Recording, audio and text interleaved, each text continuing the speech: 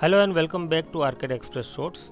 In this video we will see how to update the column sizes once you have finalized the design sizes.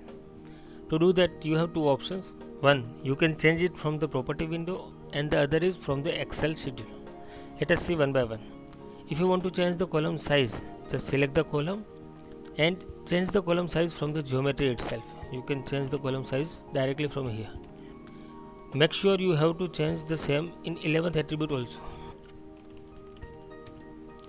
Okay?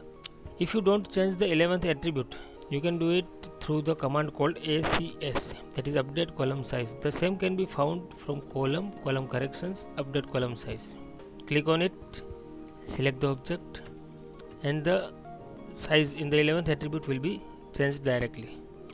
The other way is to export the dummy schedule update the excel file and import the same to the drawing and update the column. Let us see how. Go to column go to column schedule and click on dummy schedule. Press enter and select the columns. Press anywhere outside. It will generate an excel schedule.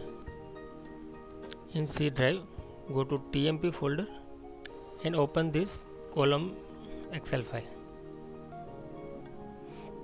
it will be generated like this.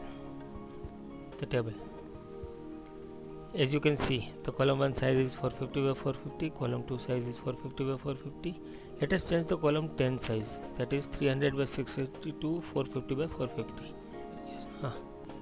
save this file and go to CAD again. Go to column column schedule and update the foundation plan from excel. Select it press enter and select the objects back and click anywhere outside if you will see the schedule the column C10 size is 450 by 450 let us see where the column C10 is. Here is the column C10 as you can see the fixed point remain the fixed and the size has been changed the other two directions.